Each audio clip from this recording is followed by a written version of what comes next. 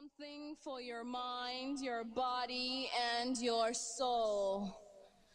It's the power to arouse curiosity, the purpose, the goal which one acts on. A journey of force, hot like the sun and wet like the rain. Rhythmic movements in unison with others prolong an act of sensation with no limits or boundaries. Eternity is past. Wrong is right. It's the point of greatest intensity. Pleasures of the highest sense. Feelings of warmth and security. Willing and unwilling sensations of the mind. A condition. The ultimate seduction. The realm.